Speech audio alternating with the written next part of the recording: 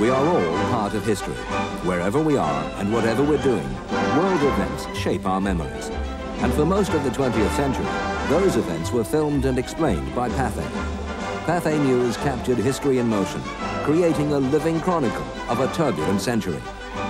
1949 was a year in which Europe's regeneration gathered pace.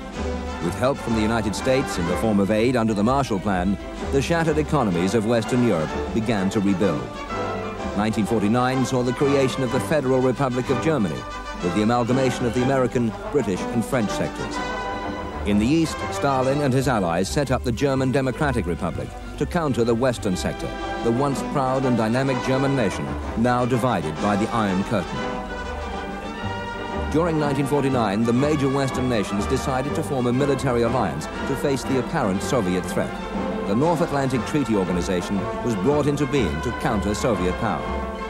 1949 was a year in which both America and Russia maneuvered for position. The Cold War started to fall into the patterns that would dominate the world for decades to come.